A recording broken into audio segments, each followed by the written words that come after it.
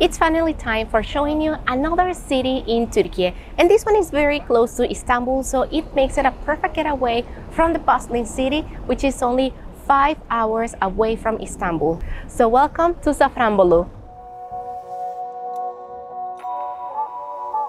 Safranbolu is a beautiful town of Karabük province in the Black Sea region of Turkey. It's famous for its traditional wooden houses, guild bazaars, and saffron. Most of its buildings have been protected and preserved in their original form. In ancient times, the region was formerly known as Paphlagonia, where Hittites, Phrygians, Persians, Romans, Seljuks, Lydians, Ottomans, and others held power in the region. Now, we can still see the traditional Ottoman houses and many other places built between the 17th and 19th centuries. Let's show you more about this amazing place, which is also part of UNESCO's World Heritage since 1994. We came to Safranbolu from Istanbul and it was just about five or five and a half hours from Istanbul to this city. What we did is that we took an overnight bus around 2.45 in the morning from Istanbul from the Asian side, from Dudullu in Ataşehir, and then the bus dropped us off already in Safranbolu and from the main terminal we just took a taxi to our hotel which by the way it is so beautiful for the bus tickets per person we are paying 320 liras approximately for one trip the hotel we are staying at is one of those traditional mansions that actually makes Safranbolu special. So this one is Akbulut Konak, which Konak already means mansion, and the place is just so beautifully decorated. I can really feel that I'm like in the Ottoman times in this beautiful place. The place only has about 8 rooms in total and ours has its private bathroom, a beautiful bed, everything, and the views are really nice as well. For one night at this hotel, we are gonna pay 1,000 liras and also the breakfast is also included.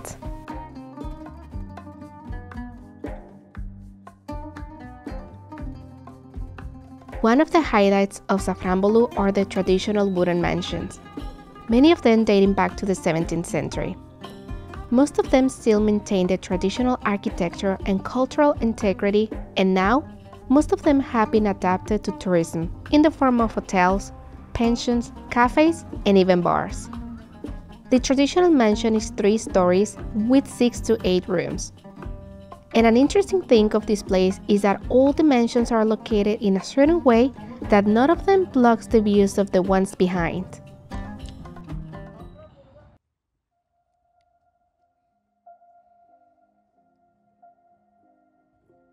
Now we're gonna visit the old city hall and this place was built in 1906 by the Kastamonu governors Enis Pasha. In the museum, we'll be able to visit the conference and exhibition halls on the ground floor, while on the top floor there is a hall called Safranbolu with photographs and an ethnography museum as well. Finally, in the basement, also we'll be able to see how the lifestyle of Safranbolu used to be back in the days, where we can find the small versions of some shops.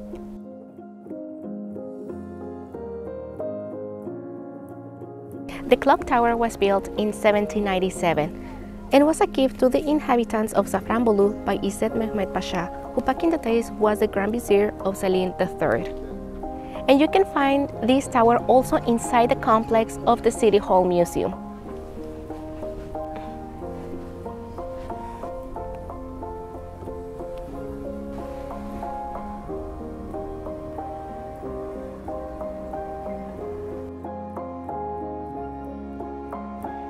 This is a 17th century traditional Turkish bath where you can have a relaxing time.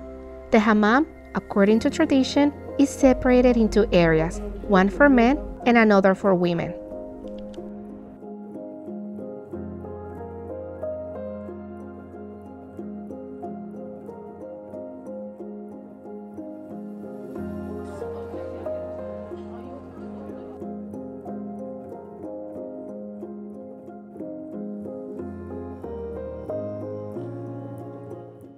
This mosque is the biggest one in Safranbolu and it was built in 1661 by Koprulu Mehmed Pasha. And as simple as it seems, let me tell you that it has a very interesting architecture. For example, the domes is not as usually we tend to see in other mosques, especially in Istanbul, that actually they are like carved in the rock. But here they are only painted, but actually they are quite interesting.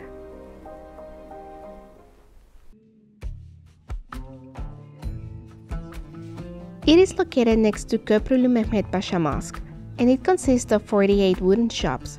In the past, this is the place where shoes, in Turkish known as Yemeni, were made. Now we can only find souvenir shops, and only one shop is still making Yemeni to sell to visitors. Here we bought some handmade wooden souvenirs for our house, which is a beautiful candle holder and a box. This beautiful lady's husband makes all the wooden ornaments and she paints the designs.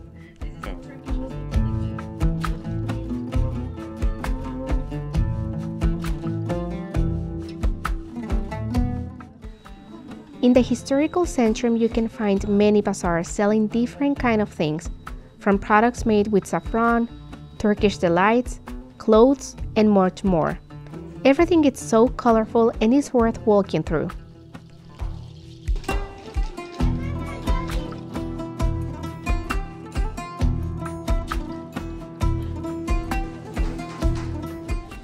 Now we are just taking a rest in a very historical place in Safranbolu and this is a must visit. This place is called Cinci Han, which Jahan it's also a caravanserai.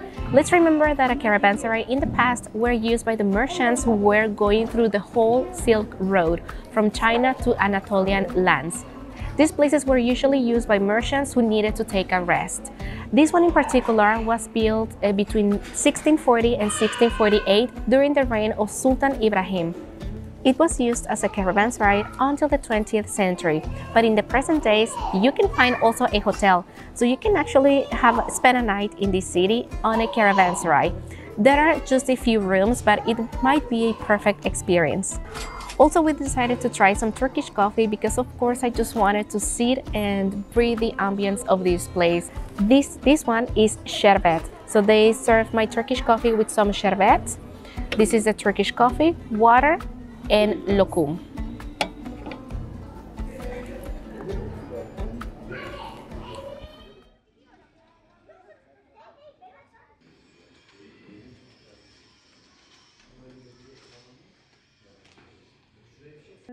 The mosque was built by the Grand Vizier of the time, Izzet Mehmed Pasha, in 1796 and it was inspired on the Nur Osmaniye Mosque in Istanbul, which is located outside the main entrance of the Grand Bazaar.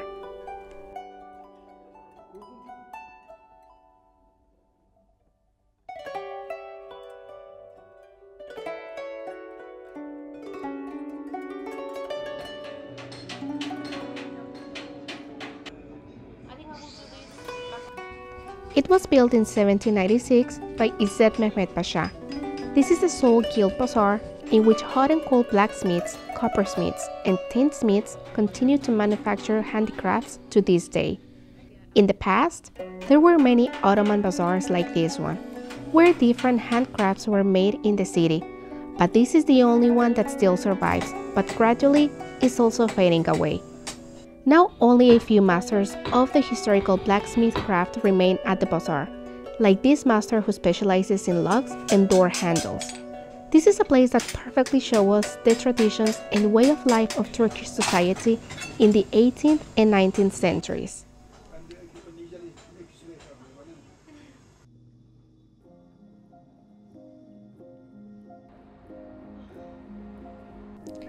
This hill is overlooking the historical centrum and it's one of the best panoramic view points of the city.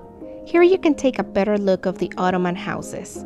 And don't forget to take lots of pictures because the views are lovely.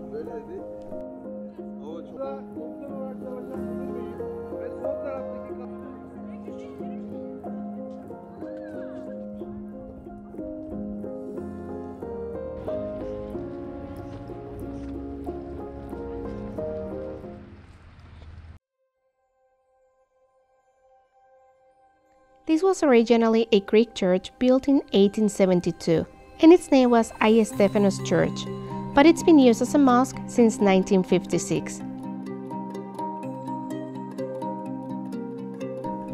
In the same complex, we can also find the house where the priests used to live.